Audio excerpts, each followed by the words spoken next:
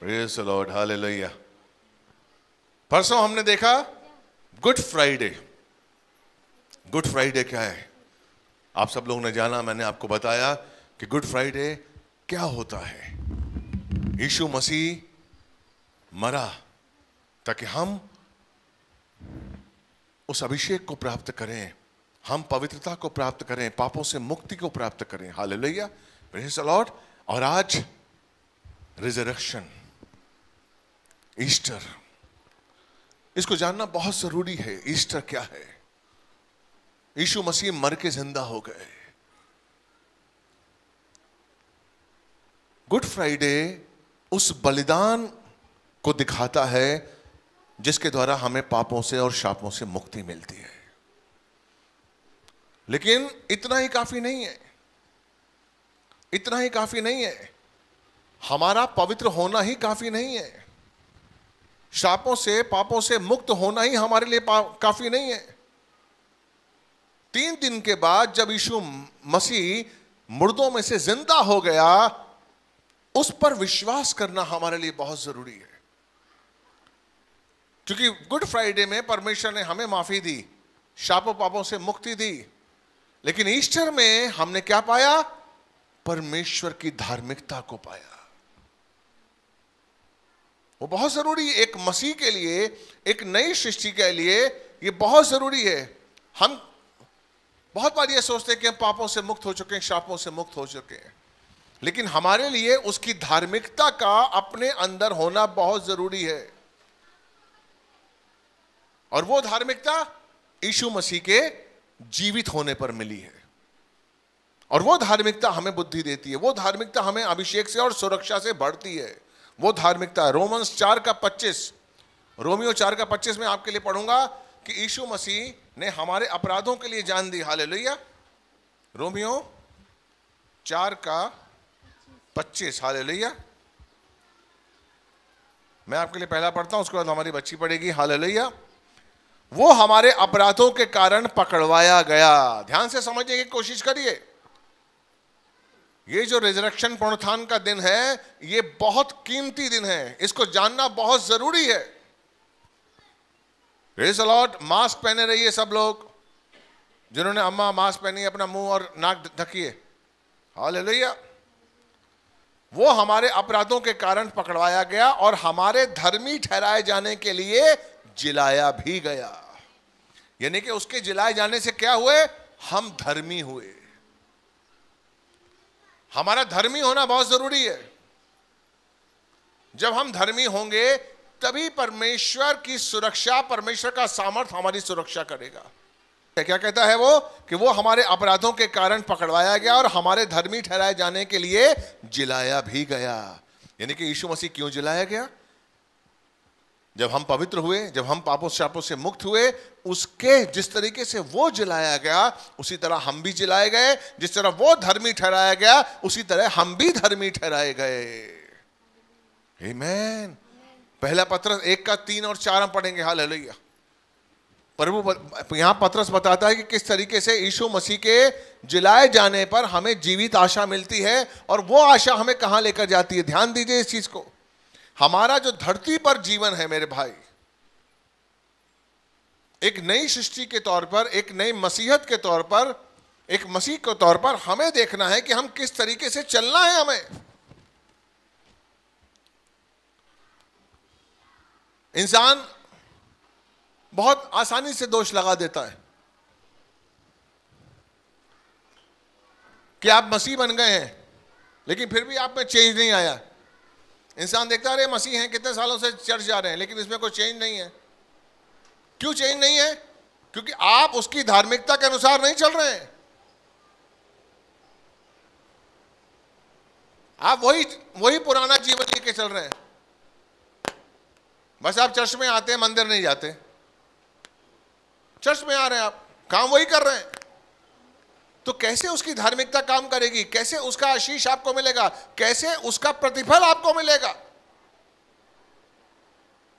जब आप एक नई सृष्टि के रिश्ते में, एक नई सृष्टि के स्वरूप में, जिसे परमेश्वर ने आपको दिया है, जब वो स्वरूप आप लेकर चलेंगे और उसकी धार्मिकता के अनुसार जीवन जिएँगे तो परमेश्वर का सामर्थ आपकी रक्षा करेगा, यह बाइबल कहती है। लॉट बढ़िए बेटा पहला पत्र से एक का तीन। हमारे प्रभु यीशु मसीह के परमेश्वर और पिता का धन्यवाद हो। एक मिनट हमारे प्रभु यीशु मसीह के परमेश्वर और पिता का धन्यवाद हो। यहाँ पर यीशु मसीह के परमेश्वर और पिता दोनों का एक ही है। दोनों एक ही हैं। परमेश्वर और पिता अलग नहीं है। वो कहता है वो यीशु मसीह का परमेश्वर भी था और वो यीशु मसीह का पिता भी है। प्रेस अलॉट आगे। जिसने यीशु मसीह के मरे हुओं में से जी उठने के द्वारा जिसने यीशु मसीह को मरे हुओं में से जी उठने के द्वारा मरे हुए के, जी उठने के, यानी के मरने के बाद जब वो जी उठा, उसके द्वारा हमें नई आशा मिली है। हेलो? पढ़िए। के द्वारा जिसने यीशु मसीह के मरे हुओं में से जी उठने के द्वारा हाँ। अपनी बड़ी दया से हमें जीवित आशा के लिए नया जन्म दिया। जीवित आशा के लिए नया जन्म दिया। यानी कि हमने क्या प्राप्त किया? यीशु मसीह के क्रूस पर मरने के द्वारा क्रूस पर जीवित होने के द्वारा नया जन्म हासिल किया। बोलिए मैंने नया जन्म लिया। हेलो बोलिए मैंने नया जन्म लिया। प्रेस लॉर्ड यानी कि क्रूस ये पुनरुत्थान ये ईस्टर हमें नया जन्म देता है। प्रेस लॉर्ड ये जो नया ये जो ईश्वर है, ये क्या है? हमारा नया जन्म। हमें इस दिन नया जन्म मिला था। प्रेस लॉर्ड बाइबल क्या कहती है? कि जी उठने के द्वारा अपनी बड़ी, बहुत बड़ी दया। आप नहीं जानते हैं कि परमेश्वर ने क्या किया है आपके लिए। आप नहीं जानते हैं कि उसने आपको कितनी दया की है। कि सिर्फ़ विश्वास पर आपको अनंत काल का नया जीवन दिया है। और उसमें जीवित आशा। Praise the Lord hallelujah hello तो यानी कि ईश्वर में हमें क्या मिला? गुड फ्राइडे में हमें क्या मिला? पापों शापों से मुक्ति। और ईश्वर में हमें क्या मिला? नई आशा के साथ नया जीवन। नया जीवन, नया जन्म। तो हम लोग क्या, हम लोग क्या लिए हुए हैं? नया जन्म। अलॉट अब आप अगर नए जन्म के हिसाब से ज़िंदगी जिएँगे, परमेश्वर का अभिषेक आपके लिए है। लेकिन अगर आप पुराने जीवन के साथ ही एक नाम लिए हुए कि मैं चर्च जाता हूँ और मैंने यीशु मसीह का बपतिस्मा लिया हुआ है और जी, आप पुराना जीवन जी रहे हैं और आप उम्मीद करेंगे कि आपको अभिषेक मिलेगा, उम्मीद करेंगे कि आपको सुख मिलेगा, आप गलत फहमी में बिल्कुल गलत फहमी में बिल्कुल गलत फहमी में आप।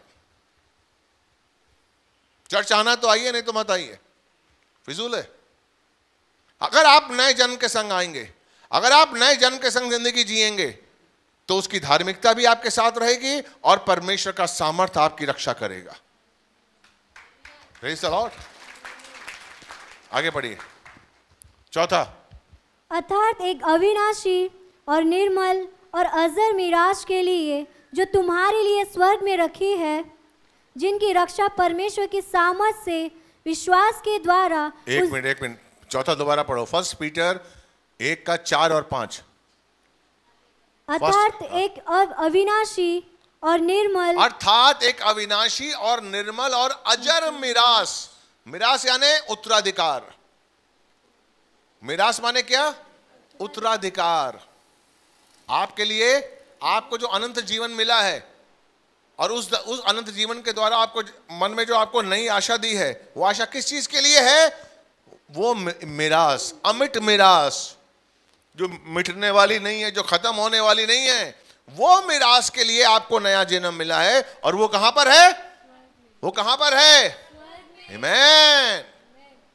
हेलो तो नया जन्म जो आपको मिला है, वो नई मिरास के लिए, नई उत्तराधिकार के लिए जो स्वर्ग में सुरक्षित रखी हुई है और जिसके लिए? पांचवा।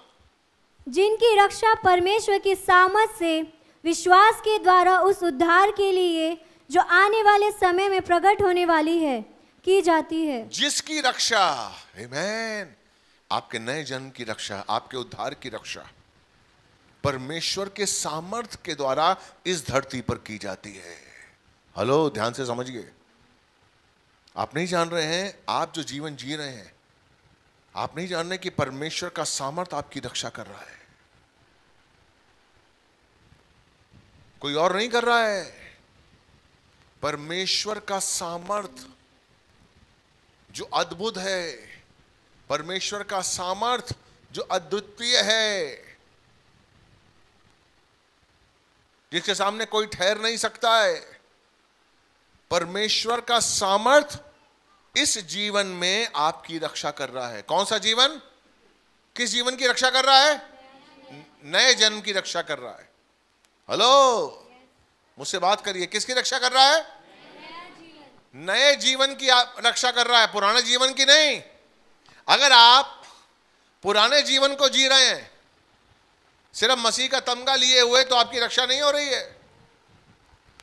आप समझे कि आपकी रक्षा तब भी हो रही है। वही आप व्यविचार कर रहे हैं, वही गलत काम कर रहे हैं, वही झूठ बोल रहे हैं, वही धोखा दे रहे हैं, वही आप गुस्सा कर रहे हैं, वही लालच, वही स्वार्थ कर रहे हैं, और आप समझ रहे हैं कि परमेश्वर का सामर्थ्य आपकी रक्षा करेगा? नहीं। नहीं। जब आप नए जन्म को लेके चलेंगे, जब आप नए जन्म में जिएँगे जब आप नए जन्म के साथ उसकी धार्मिकता को अपना बनाकर, उसकी धार्मिकता के कपड़े पहनकर, जब आप इस धरती पर नई सृष्टि होकर चलेंगे, आप विश्वास करिए, परमेश्वर का सामर्थ्य आपकी रक्षा करेगा। खुद परमेश्वर का सामर्थ्य और कोई नहीं।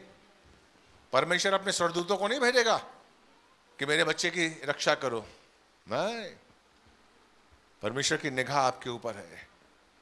परमेश्वर का सामर्थ्य आपकी रक्षा करेगा। प्रेस अलॉट हालेलुया इसलिए वो कहता है, योहन्ना ग्यारह का पच्चीस, छब्बीस, जब मार्था और मरियम ने बुलाया यीशु मसीह को कि आपका जो दोस्त है लाजर, वो मर रहा है, बीमार है, उसकी बीमारी मृत्यु के लिए। यीशु मसीह ने क्या कहा? मैं नहीं जाऊँगा, मैं दो दिन के बाद जाऊँगा, नहीं जाऊँगा मैं। लेकिन मार्था और मरियम का जो प्यार था, जो विश्वास था, वो कमज़ोर था। वो शारीरिक था, आत्मिक नहीं था। प्रेस लॉट वो जानते थे यीशु मसीह कौन है, लेकिन फिर भी यीशु मसीह के विश्वास को, उसके विश्वास को अपना नहीं बना सके। विश्वास नहीं कर सके। यही होता है। हमारी कमजोरियाँ, हम कब कमज़ोर पड़ जाते हैं? अगर उस, अगर आपने नया जन्म लिया हुआ है, अगर उसकी धार्मिकता आपके पास है तो आपका विश्वास कभी भी कमज़ोर नहीं पड़ेगा। अगर आपका विश्वास कमज़ोर हो रहा है मेरे भाई तो आप चेक करिए कि उसकी धार्मिकता आपके साथ नहीं है। आप उसकी धार्मिकता के अनुसार नहीं जी रहे जिस तरीके से आपने गाड़ी ले ली है, और गाड़ी में आपने पेट्रोल डाला है, और दोबारा पेट्रोल डालना ही भूल गए आप। और आप गाड़ी चला रहे हैं। स्टार्ट नहीं होगी, नहीं चलेगी। पेट्रोल नहीं है।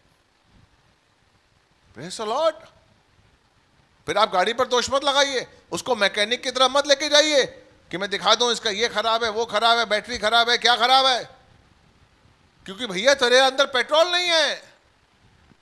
तेरी गाड़ी ठीक है। आपका पेट्रोल नहीं है। पवित्र आत्मा नहीं है। उसकी धार्मिकता नहीं है। गाड़ी तो है आपके पास। मसीह तो बन गए आप। नई सृष्टि तो बन गए आप। चर्च भी जाते हैं। लेकिन गाड़ी क्यों नहीं चल रही है? क्योंकि धार्मिकता रूपी पेट्रोल आपकी गाड़ी में नहीं है।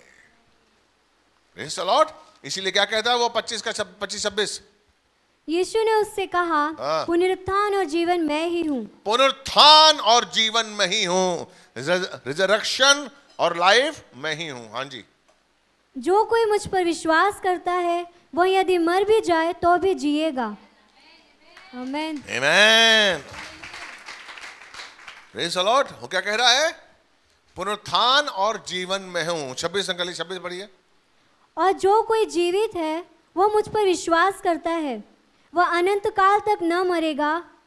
क्या तू इस बात पर विश्वास करती है? जो जीवित है और मुझ पर विश्वास करता है वो अनंत काल के लिए जीवित रहेगा। यहाँ पर किसकी बात कर रहे हैं? आत्मा की बात। यहाँ किसकी बात हो रही है? अनंत काल के जीवन की बात, जो कि रिजरक्शन जो कि ईस्टर में जब पुनरुत्थान हुआ, जब यीशु मसीह मर के ज़िंदा हुए। क्यों ज़रूरी है ईस्टर हमारे जीवन में? क्यों ज़रूरी है? एक मसीह के लिए ज़रूरी है, जिस तरीके से सांस लेना ज़रूरी है, एक मसीह के लिए ज़रूरी है कि आप हर पल महसूस करें कि यीशु जो आपका प्रभु है, वो आपके अंदर जीवित है। बहुत ज़रूरी है, हर पल, हर क्षण। आपको ये महसूस करना है कि आपके अंदर यीशु ज़िंदा है। मेरा यीशु ज़िंदा है। प्रेज लॉर्ड आपको पता है ऊपरी कोठरी में क्यों गया था यीशु मसीह? योहन्ना बीस, उन्नीस से तेईस। योहन्ना बीस, उन्नीस से तेईस। John twenty, nineteen to twenty three. क्यों गया था यीशु मसीह? मर के जी उठने के बाद। प्रूफ देने के लिए गया था। अपने चेलों को बताने के लिए गया था कि मैं ज़िंदा हूँ। क्यों? वो चेलों को चुन चुका था ध्यान दीजिए इधर वो चेलों को चुन चुका था बता चुका था चेले जानते थे अद्भुत चमत्कार दिखा चुका था मुर्दों को ज़िंदा कर चुका था अंधों को आँखें दे चुका था लगनों को टांगे दे चुका था कोड़ियों को कुड़ियों का कोड़ दूर कर चुका था सब कुछ कर चुका था पानी पर चल चुका था पाँच हज़ार लोगों को रोटी खिला चुका था सब कुछ कर चुका था लेकिन फिर भी वो बताने आया ऊपरी कोठरी पे कि मैं ज़िंदा हूँ। मैं ज़िंदा हूँ क्योंकि वो चाहता था कि मेरे चेले विश्वास करें कि मैं ज़िंदा हूँ। क्या कहता है कोठरी में? उसी दिन जो सप्ताह का पहला दिन था उसी दिन रिजरेक्शन वाले दिन ईश्वर वाले दिन उसी दिन जो सप्ताह का पहला दिन था संध्या के समय जब वहाँ के द्वार जहाँ वे जहाँ चेले थे हाँ। यहूदियों के डर के मारे बंद थे। हाँ, डर के मारे बंद थे। उस डर को निकालने के लिए। वो चेले जानते थे यीशु मसीह? यीशु मसीह बता चुके थे कि मर के ज़िंदा होऊँगा। कितनी बार तकरीबन सात बार बता चुके थे चलकर कि मैं मर के ज़िंदा होऊँगा लेकिन फिर भी डरे हुए थे। क्यों डरे हुए थे? क्योंकि उसकी धार्मिकता उसके पास नहीं थी। क्यों डरे हुए थे? क्योंकि उनको विश्वास नहीं था कि वो मर के ज़िंदा हो गया है। आज हमारे जीवन में प्रभु कब काम करता है? जब हम अपने अंदर से डर निकालकर और इस विश्वास के संग ज़िंदगी जिएँगे कि यीशु मसीह मर के ज़िंदा हो गया है और वो मेरे साथ है। यीशु मसीह हमारे साथ है। प्रेज लॉर्ड तो क्या कहता है, जहाँ चेले थे, यहूदियों के डर के मारे बंद थे। तब यीशु आया और बीच में खड़े होकर उनसे कहा, तुम्हें शांति मिले। लॉर्ड हेलो क्या कहा? क्या कहा उसने? तुम्हें शांति मिले, क्योंकि वो जानता था वो व्याकुल थे।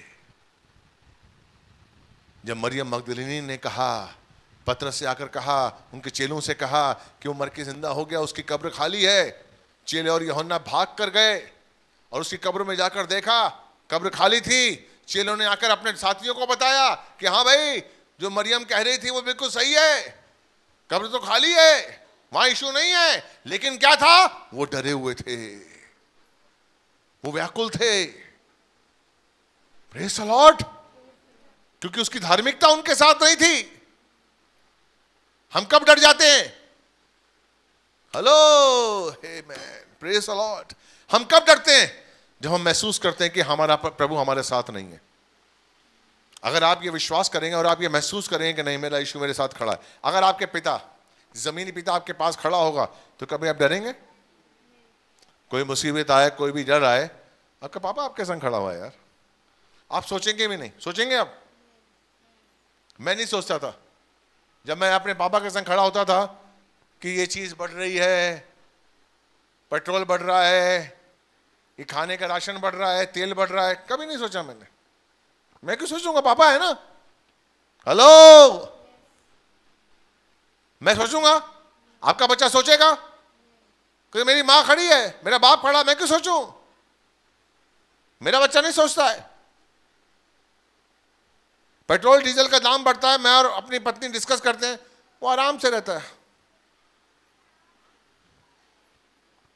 The Lord. आप कब टेंशन में आएँगे? जब आप महसूस करेंगे कि आपका पिता आपके साथ नहीं है। वो लोग टेंशन में थे, व्याकुल थे कि मेरा पिता हमारे साथ नहीं है, मेरा यीशु हमारा गुरु हमारे साथ नहीं है। उसने कहा, तुम्हें शांति मिले। प्रेज लॉर्ड क्योंकि हमारे लिए शांति बहुत ज़रूरी है। आगे बढ़ो बेटा। तुम्हें शांति मिले। आगे। और यह कहकर उसने अपना हाथ और अपना पंजर उनको दिखाए। हाँ। तब चेले प्रभु को देखकर आनंदित हुए। Amen. उसने दिखाया कि तुम किसको देख रहे हो? तुम विश्वास करो कि मैं हाथों में कीलें चुभवाई थी मैंने। हाथों और पैरों में कीलें चुभवाई थी। देखो। लॉर्ड आगे।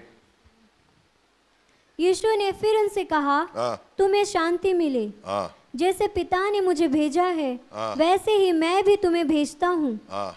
यह कहकर उसने उन पर फूका और उनसे कहा पवित्र आत्मा लो। हाँ। जिनके पाप तुम क्षमा करो वे उनके लिए क्षमा किए गए हैं। जिनके तुम रखो वे रखे गए हैं। यीशु मसीह ने अपने जीवन को अपने होने को कि मैं मर के ज़िंदा हो गया हूँ इस बात को प्रकट करने के लिए तकरीबन चार बार चेलों के ऊपर प्रकट हुआ वो। तिब्रियास झील में हुआ इमाउस के मार्ग पर हुआ, पतरस से बात की उसने, मरियम मगदलिनी के सामने हुआ। प्रेस लॉर्ड और बाइबल कहती है, तकरीबन 40 दिन तक वो जीवित वहाँ पर दिखता रहा और तकरीबन 500 लोगों को दिखा कि वो जीवित है। यानी कि उसका ये बताना बहुत ज़रूरी था कि मेरे बच्चे, मेरे चेले जो मुझे जानते हैं, वो विश्वास करें कि मैं जीवित हूँ। आज का दिन, आज का ईस्टर, आज का पुरुत्थान का दिन हमें बताता है और यीशु मसीह हमें बताना चाहता है। बाइबल हमें बताना चाहती है कि यीशु सर्वाधिक काल के लिए, अनंत काल के लिए जीवित है।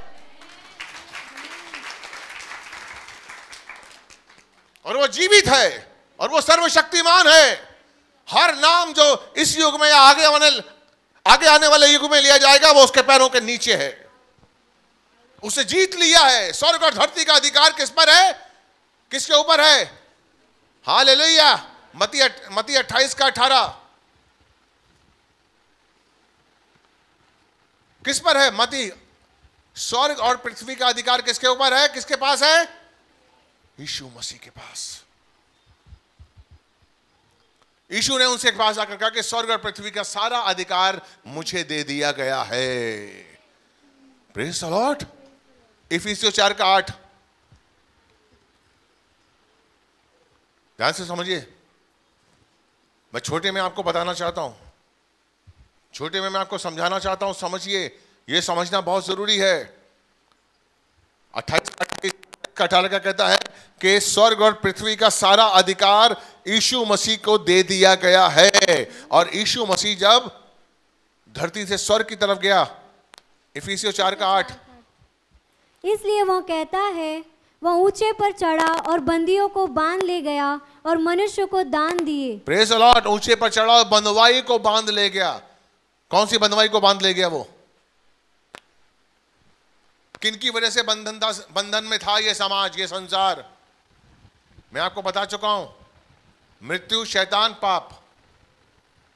मृत्यु शैतान पाप को वो अपने संग ले गया। प्रेज लॉर्ड और यहाँ पर क्या है? यहाँ धरती पर क्या है? कलीसिया। यहाँ पर क्या है? हेलो मुझसे बात करिए। क्या छोड़ गया यहाँ पर? कलीसिया। ताकि कलीसिया ही हमें सुरक्षा देती है। कलीसिया में ही वो वचन है, कलीसिया में वो सामर्थ है। कलीसिया में वो अधिकार है। आप कलीसिया को बहुत हल्के तरीके से लेते हैं। सिर्फ़ अपनी कमाई के लिए जॉब के लिए धंधे के लिए गाड़ी के लिए स्कूटर के लिए कार के लिए सिर्फ़ उसके लिए आप कलिसिया को यूज़ करते हैं। आप बहुत बेवकूफ़ हैं। नंबर वन के बेवकूफ़ हैं आप। आपको पता ही नहीं कि आपको क्या दे, दे सकता है कलिसिया। आपको कलिसिया का मतलब ही नहीं पता है। और शैतान भी आपको झुंझुना पकड़ा देता है। और आप झुंझुना पकड़ने बड़े खुश हो जाते हैं कि हाँ मिल गया हमको। ये कुछ भी नहीं है। प्रेज लॉर्ड कलीसिया में परमेश्वर का सामर्थ है। कलीसिया में जीवित परमेश्वर है। जीवित यीशु है, जो कि हमारी रक्षा करता है। कलिसिया में इंसान क्यों रखते हैं? क्यों कलिसिया बनाया गया है? ताकि हम परमेश्वर के वचन को, उसके सामर्थ्य को, उसके ज्ञान को, उसकी समझ को जान सकें और समझ सकें। जब डैनियल ने दर्शन देखा आपको पता है? जब डैनियल दर्शन देख रहा था, उसे समझ नहीं, वो प्रार्थना कर रहा था, अगर आप देखिए, अध्याय अध्याय दस पढ़ेंगे तो जिब्राइल दूत आया। जिब्राइल दूत आया और उसने क्या कहा कि मुझे परमेश्वर ने भेजा है ताकि मैं तुझे समझ के साथ बुद्धि दूँ। क्या दूँ? समझ के साथ बुद्धि दूँ, क्योंकि परमेश्वर को समझने के लिए उसकी बुद्धि चाहिए। इसलिए उसने फूका। पवित्र आत्मा का सामर्थ्य दिया हालेलुया। प्रेज लॉर्ड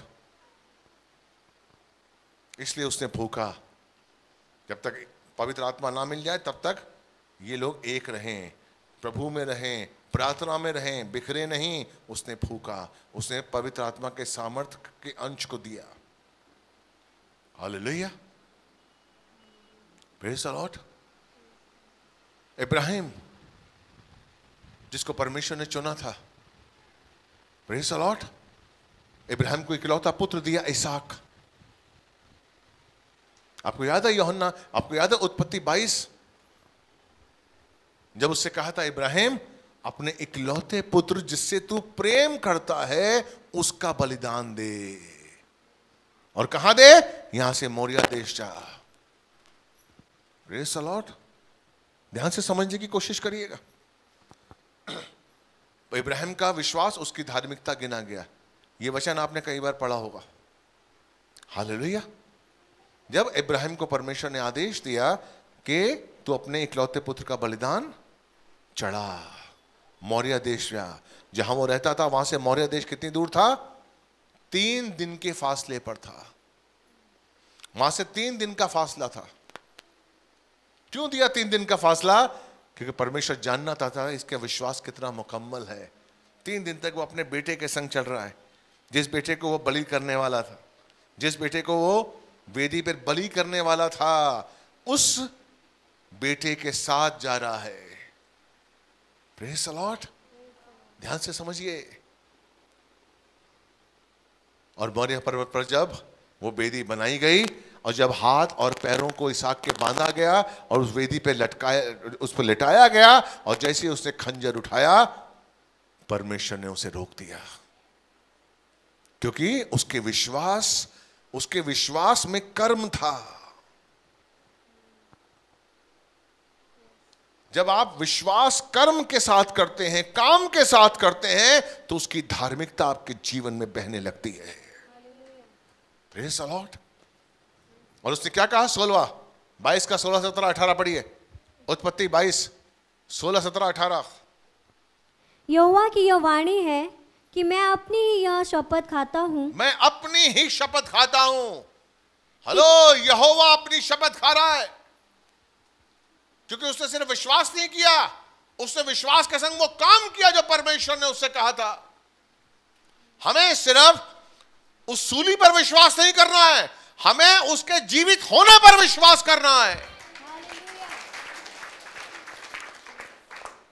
पढ़ो बेटा। कि तूने जो यह काम किया है कि अपने पुत्र वरन अपने एक लौते पुत्र को भी नहीं रोक छोड़ा Amen. इस, इस कारण मैं निश्चय तुझे आशीष दूँगा। निश्चय ही मैं तुझे आशीष दूँगा। हाँ जी। और निश्चय तेरे वंश को आकाश के तारागण और समुद्र के तीर के बालू के किनकों के समान अनगिनत करूँगा। और तेरा वंश अपने शत्रुओं के नगरों का अधिकारी होगा। हाँ। क्या कहता है बाइबल? इब्राहिम के विश्वास को धार्मिकता गिना गया। वो कब धार्मिकता हुआ? जब उसने अपने इकलौते पुत्र पर खंजर उठाया। जब ईशु ज़िंदा हुआ तब उसकी धार्मिकता आपके जीवन में आई। कब? जब आपने उसके जीवित होने पर विश्वास किया। जब आप उसके जीवित होने पर विश्वास करते हैं तो उसकी धार्मिकता आपको मिलती है और वो धार्मिकता जब आपके पास होती है तो परमेश्वर का सामर्थ्य आपकी रक्षा करता है। याद रखिए, सिर्फ़ चर्च में आने से आपकी रक्षा नहीं है। जब तक उसकी धार्मिकता और धार्मिकता कब आपको मिलेगी? जब आप विश्वास करेंगे कि यीशु मसीह क्रूस पर मर के ज़िंदा हो गया है। इब्रानियों छह का चौदह पंद्रह। प्रेज लॉर्ड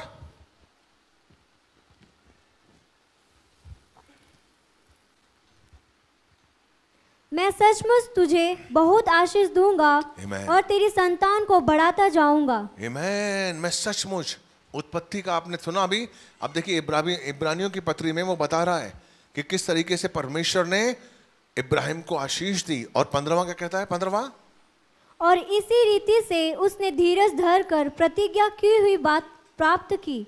लॉर्ड हमें जो जीवन मिला है मेरी बहन मेरे भाई हमें धीरज के संग उस प्रतिज्ञा को विश्वास के संग ग्रहण करना है। जब आप धीरज क्या किया था उसने? इब्राहिम ने धीरज के साथ उस प्रतिज्ञा को ग्रहण किया, अपना लिया। आपकी कई प्रॉब्लम्स आएँगे, कई दुख आएँगे। शैतान आपके कान में कहेगा, कहाँ है यीशु? कहाँ है जीवित खुदा? हमें धीरज के संग उस विश्व, उस अनंत काल के जीवन को अपना बनाकर रखना है कि क्रूस ने मुझे अनंत काल का जीवन दिया है। मुझे अभिषेक दिया है। मेरा यीशु ज़िंदा है मेरे पास। लॉर्ड हेलो जब चेलों ने सुसमाचार सुनाया आप सब जानते हैं, पतरस, योहन्ना, पौलोस, उनको कई बार सताव का सामना करना उठा, करना पड़ा, लेकिन हर बार वो महसूस करते थे और अंगीकार करते थे कि मेरा यीशु मेरे संग ज़िंदा है। लॉर्ड और जब जब उन्होंने अंगीकार किया, जब जब विश्वास किया, यीशु मसीह ने बताया कि मैं तुम्हारे साथ हूँ। आज का दिन हमें बताता है कि हमें डरना नहीं है। मेरा ईशु ज़िंदा हो चुका है। मेरा ईशु ज़िंदा है। वो मेरे लिए है और मेरे लिए ही उसने स्वर्ग छोड़कर धरती पर आया था और आज वो मेरी सुरक्षा के लिए मेरे साथ है। जब आप ये बहन महसूस करेंगी ना तो उसके सामर्थ्य को महसूस करेंगी। जब आप ये महसूस करेंगे कि मेरा यीशु ज़िंदा है और वो मेरी सुरक्षा के लिए, अपने सामर्थ्य के द्वारा मेरी रक्षा कर रहा है, आप विश्वास करिए। आप उसकी शक्ति को देखेंगे। आप उस शक्ति को महसूस करेंगे। ज़िंदा है। मुझमें यीशु ज़िंदा है। लॉर्ड आज का वचन बताता है, आज का दिन बताता है कि यीशु मुझमें ज़िंदा है। और ये हमें कभी नहीं भूलना है, किसी भी पल, किसी भी क्षण। वो ज़िंदा है, वो मौत को, शैतान को, पाप को हरा चुका है। हेलो? प्रेस अलॉट इसलिए जिस तरीके से इब्राहिम ने विश्वास के संग, धीरज के संग उस प्रतिज्ञा को अपना लिया था, हमें भी उस प्रतिज्ञा को, इस दिन को, इस उपाधि को, इस अनंत काल के जीवन को धीरज के संग अपनाना है और अपना बनाकर चलना है। मैं विश्वास करता हूँ आज का वचन आपको, आपने ग्रहण किया होगा। हाल विश्वास करिए। मेरे भाई, मैं चाहता हूँ मेरे कलीसिया का हर सदस्य, हर भाई, हर बहन ईशु को महसूस करे अपने जीवन में रोज हर पल, और वो भी जीवित हाल कि हमने ग्रहण किया वचन? हाल लिया ज़ोर से तालियाँ बजाइए पिता परमेश्वर के लिए, पवित्र आत्मा के लिए मसीह के लिए। हाल लिया ज़ोर से तालियाँ बजाइए। हाल लिया प्रभु आपसे बहुत प्यार करता है। हाल लिया